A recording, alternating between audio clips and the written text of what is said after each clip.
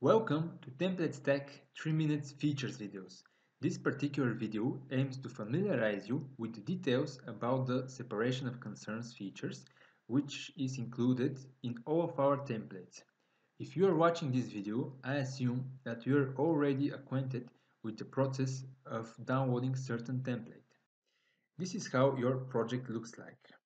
My idea is not to tell you how important is to have good separation of concerns, because you are probably well aware of it, but to show you how it's implemented here. Firstly, it might look a little bit scary, but after a while, you'll start to like it, I guarantee it. Essentially, what you download is a regular Visual Studio solution, but with a lot of modifications. It contains more than 10 projects, grouped logically by their purpose. Let's start with the folder containing the web-related projects. Within this folder is the regular ASP.NET boilerplate template, but stripped of all the coupling that comes by default, like database context and database models.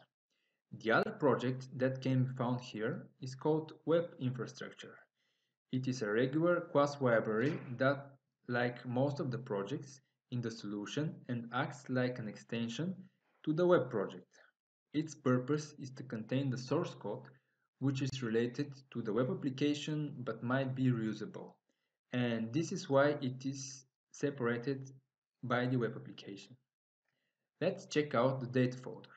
It contains three projects that are all regular class libraries. The first one contains database context that is removed from the web project. The second is intended to hold the source code of some kind of abstraction level over the database, like unit of work or repository patterns, or both. The last project in this section contains only the models of the database. The next group of project is called services. Again, it contains only class libraries.